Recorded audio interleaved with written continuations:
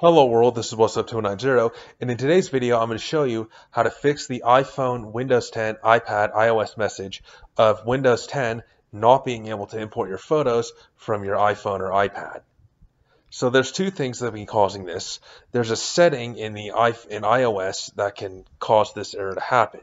What you're going to want to do is go to settings and type transfer to Mac or PC. The option I just clicked here.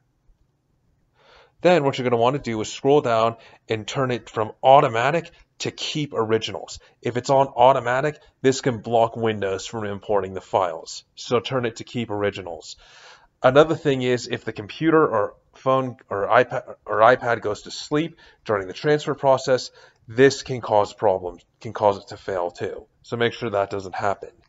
If those two things have a are checked for you and it's still failing, another thing you might want to try is is turning off iCloud. This wasn't the case for me, but if you if but I read that iCloud cloud can cause errors too if it's turned on.